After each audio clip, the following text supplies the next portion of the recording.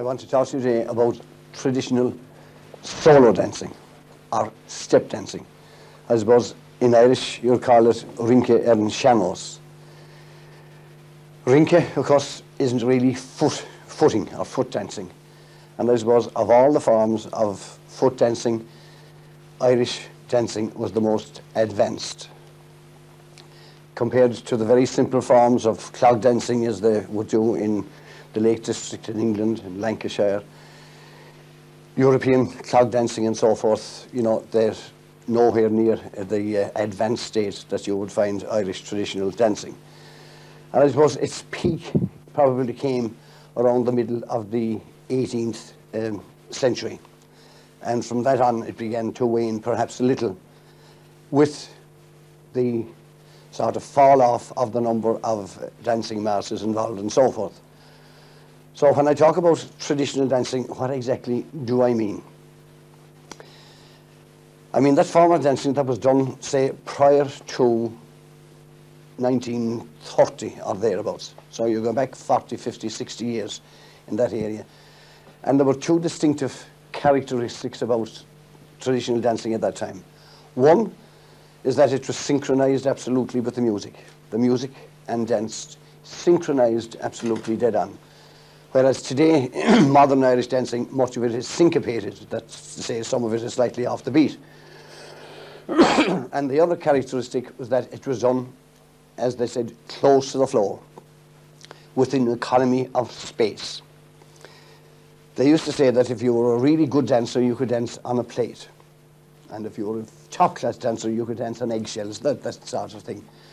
But it did mean that you did it in the smallest possible space and that you synchronize absolutely with the music. Now, it might appear at the beginning that the thing was a bit complicated when you look at some of the, uh, the steps. So, perhaps before I go any further, let me do just one step so that you get, you listen to it, because Irish dancing was both oral and visual. You wanted to see it and you wanted to hear it at the same time. So listen and see what you think of it. Now, this is a, hornpipe step, probably one of the more advanced ones, but at the same time, if you know a hornpipe tune, hum along with it, and you'll find that it'll synchronize exactly with the, uh, the music.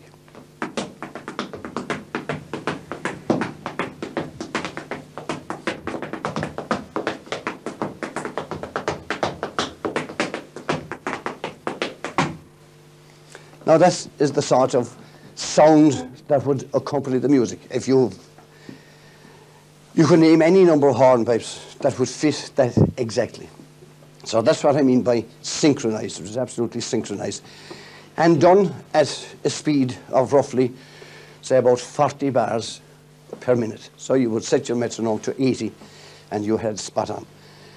Nowadays, that particular dance would be done at perhaps 26, 28 bars. So the thing has been slowed down simply because they have put, modern dancing has put so much into the dance that they had to lengthen the time of the, the music. So they only slow down the music and lengthen the time to get it in. But however, to revert back a little bit, the uh, hornpipe that I've danced now probably goes back maybe oh, 200 years, again to that same period, about 1750 when dancing was at its, uh, at its peak.